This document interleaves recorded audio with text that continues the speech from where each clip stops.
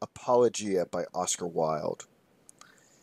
Is it thy will that I should wax and wane, barter my cloth of gold for hodden gray, and at thy pleasure weave that web of pain, whose brightest threads are each a wasted day? Is it thy will, love that I love so well, that my soul's house should be a tortured spot, wherein like evil paramours must dwell, the quenchless flame, the worm that dieth not? Nay, if it be thy will, I shall endure, and sell ambition at the common mart, and let dull failure be my vestiture, and sorrow dig its grave within my heart.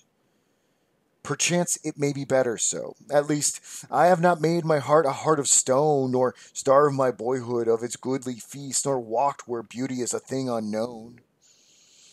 Many a man hath done so, sought defense, in straitened bonds the soul that should be free trodden the dusty road of common sense, while all the forest sang of liberty. Not marking how the spotted hawk in flight passed on wide pinion through the lofty air, to where the steep untrodden mountain height caught the last tresses of the sun god's hair.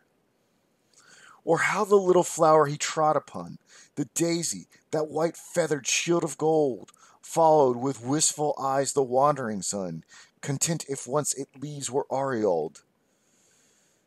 But surely it is something to have been the best beloved for a little while, to have walked hand in hand with love, and seen his purple wings flit once across thy smile.